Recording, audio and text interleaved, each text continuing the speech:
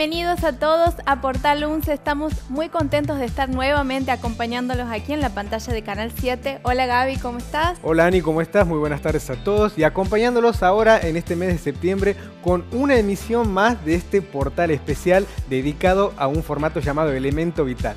Bien, vamos a contarle a la gente que este es un formato que ahora se incorpora a nuestro portal UNCE. En realidad hemos tenido ya una primera emisión y es una alianza con una productora de La Plata. Es muy importante este contenido para nosotros en tanto que tenemos carreras que tienen que ver con la ecología, que tienen que ver con la ingeniería forestal y responde a los intereses de muchos de nuestros estudiantes y egresados este contenido.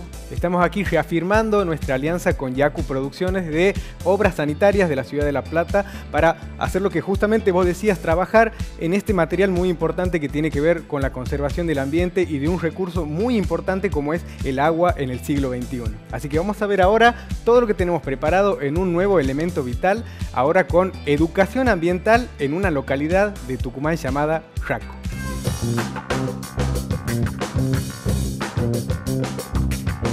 El agua dulce de nuestro planeta es poca. Es un estado casi terminal de un cuerpo de agua. Para este siglo XXI el conflicto es por agua. El cambio climático no está en el futuro, está ya ocurriendo. Los problemas del agua hoy en día son problemas de organización y de gestión.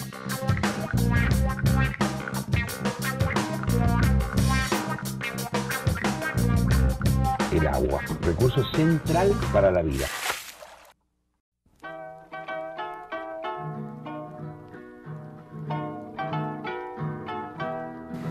Cuando uno llega a Tucumán, eh, impacta a veces el desarrollo que tiene eh, la urbe. Mirando hacia occidente nos sorprende el paredón verde.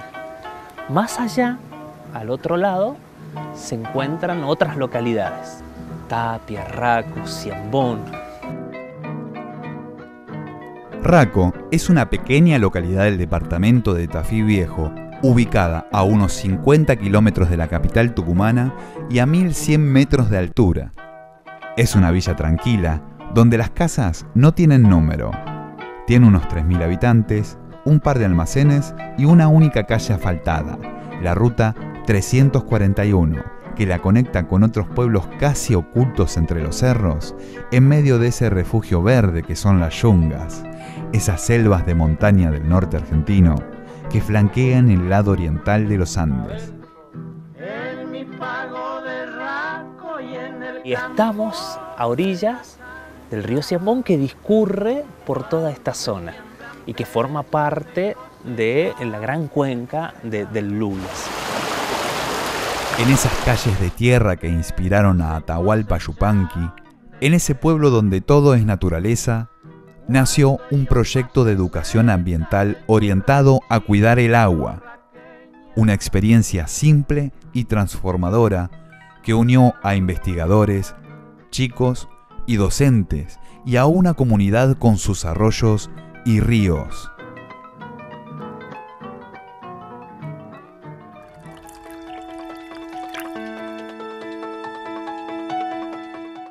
La experiencia que hoy les vamos a mostrar nació en el año 2009, en una escuela rural de Raco, cuando un grupo de biólogos, todos investigadores del CONICET y algunos de ellos además formaban parte de la Asociación Hermanos de la Tierra, decidió armar un proyecto de educación ambiental que utilizara indicadores biológicos, esto es, bichitos, insectos, para evaluar el estado de los ríos y arroyos de la zona.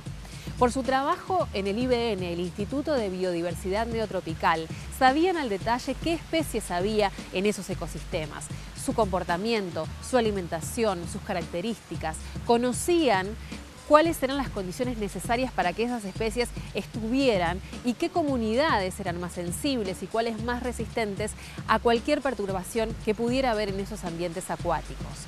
Con todo ese bagaje, lo que querían mostrar a los chicos era que en un río sano hay vida y que la falta de cualquiera de estos insectos podía ser indicio de contaminación, de impactos que el hombre estuviera generando en las cuencas.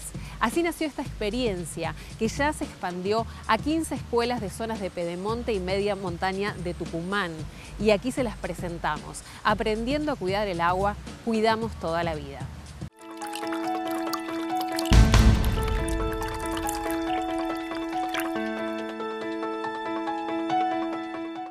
La experiencia consiste en mostrarles a los chicos otra perspectiva del río y desde ahí poder generar otras, otra conciencia de parte de los chicos. Consiste en, la ideación y dictado de talleres educativos orientados a docentes y alumnos del nivel inicial.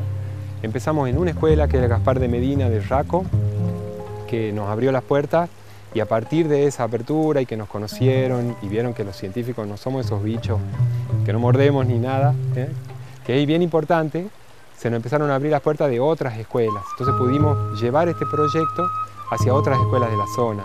Había necesidades muy marcadas ahí de la gente y que se podía hacer un trabajo interesante en las escuelas rurales. El proyecto eh, tiene como objetivo el cuidado de los ríos de la zona, que trabaja con los niños de toda, la, de toda la escuela a partir del primer grado. Y siempre nos pareció que los chicos era nuestra fuerte, porque queríamos marcarles o darles esa impronta en la niñez, que es donde más, más firmemente se pueden fijar cosas como esta y experiencias así.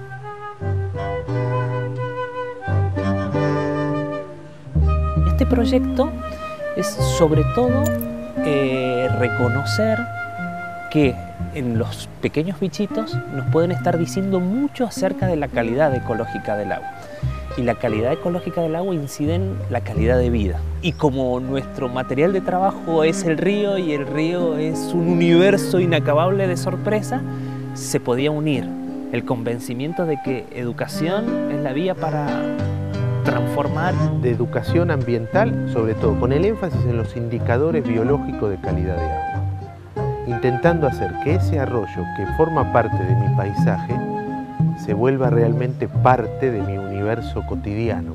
Entonces de esa simbiosis es como que surge inevitablemente este proyecto.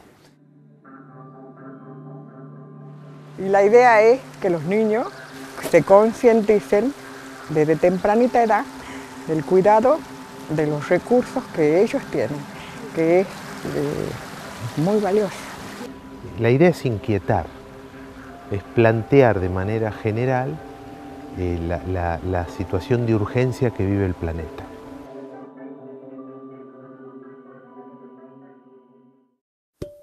Los talleres empezaron a ser orientados a los chicos.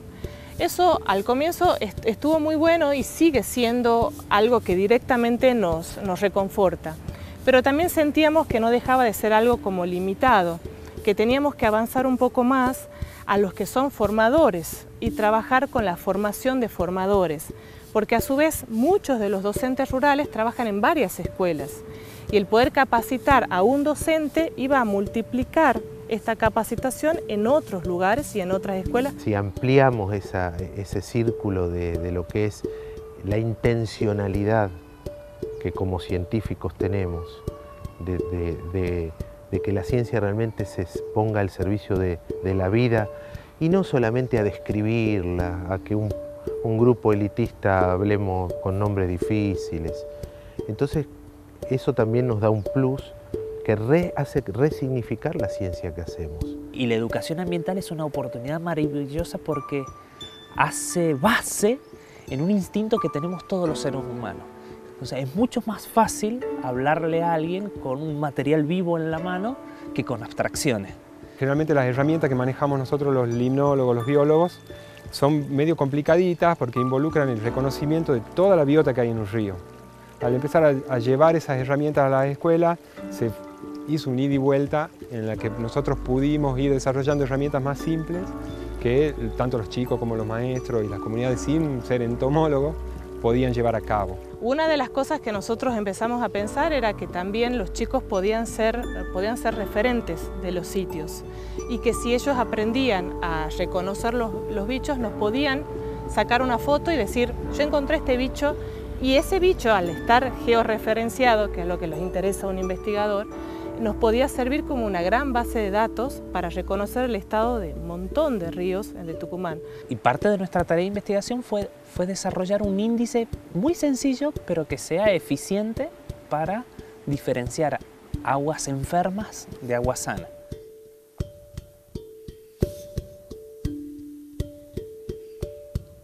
A través de un análisis descubrimos que hay un conjunto de especies que están presentes en los prístinos, pero que están ausentes en los impactados. Un grupo nuestro desarrolla, se pone a ver, a, buscar datos, a, a, ver todo lo que sabíamos de eso y se da cuenta que hay cuatro bichos que son los que indican la mejor calidad de agua.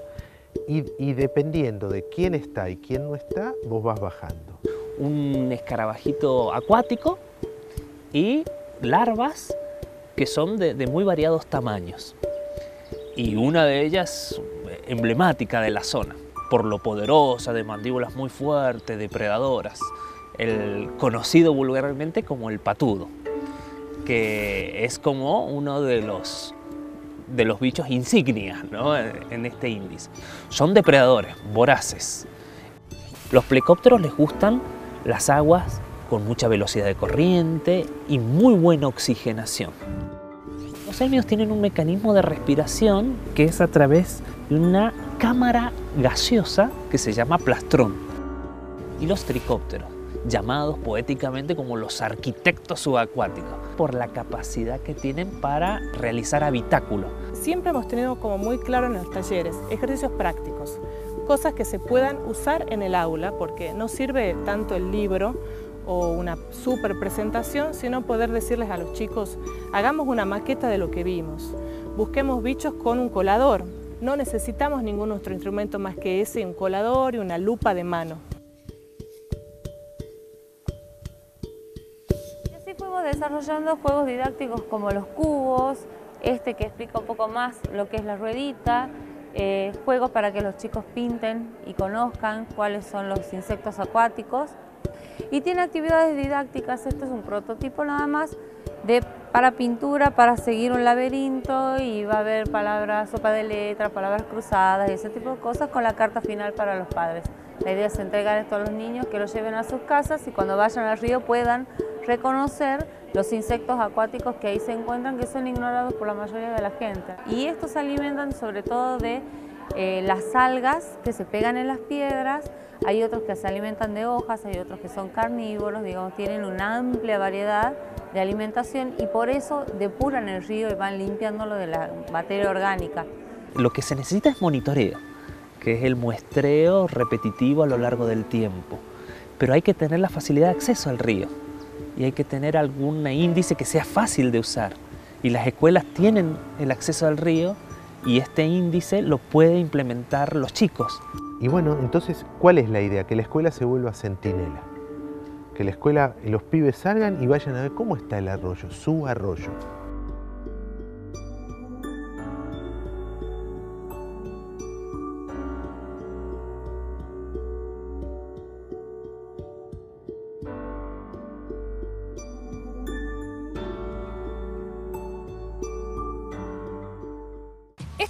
Primera experiencia educativa que usa bioindicadores. Lo novedoso, la riqueza de este proyecto es lo fácil que resulta estimar la integridad biológica de las aguas.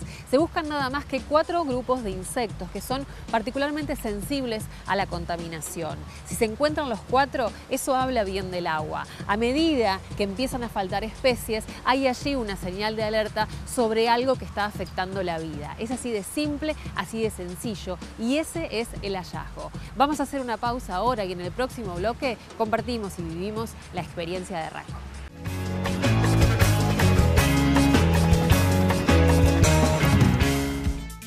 Y ahí veíamos el trabajo de todos los investigadores, los biólogos y los docentes de esta escuela rural en Raco, en el Jardín de la República, nada más y nada menos que en Tucumán, cómo trabajaban a través de este tema de educación ambiental en esta zona. Importante que investigadores del CONICET se acerquen, digamos, a, a la niñez en contextos educativos y de pronto también enseñarles a los chicos lo que es la educación ambiental y la importancia de saber qué tipo de agua están consumiendo. Sobre todo de un tema muy particular, como vos lo decías, el hecho de determinar el estado en el que se encuentra un río y un arroyo a través de la identificación de estos insectos en el agua para cuidar justamente este recurso tan importante para todos. Queremos seguir viendo mucho más elementos vital, pero hacemos un corte. Vamos a una pausa y enseguida volvemos con mucho más Portal 11.